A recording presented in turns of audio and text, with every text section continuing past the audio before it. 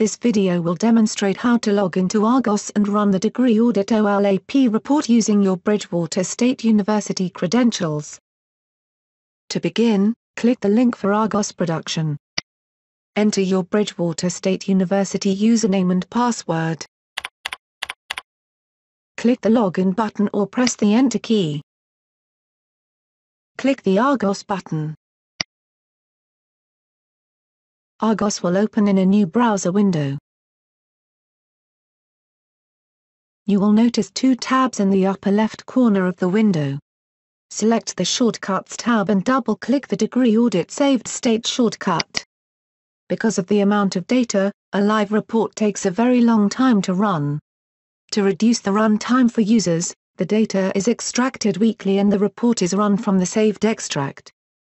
The weekly report is done early Monday mornings.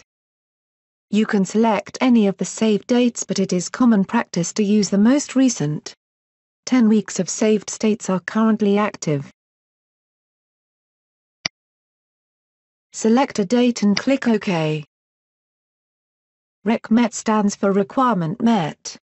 Y is yes and means the student has met that degree requirement. N is no and means the student has not met the requirement. To avoid seeing those students who have met the requirement, you can filter your results to only show Rec Met that equal N. To do so, click the drop-down arrow next to Rec Met.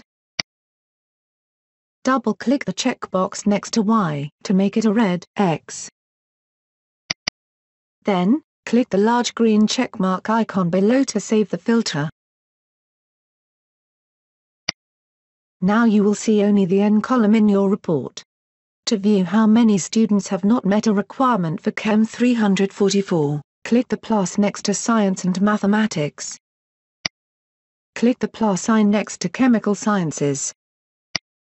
Click the plus sign next to the next Chemical Sciences column. Click the plus sign next to 344. You can now see the number of students in each class that have not yet met the requirement for Chem 344. You can drill down further to view the banner ID and names of these students. Although there are some limitations to this report, we hope the information can be helpful when determining course demand, creating course schedules, and curriculum planning.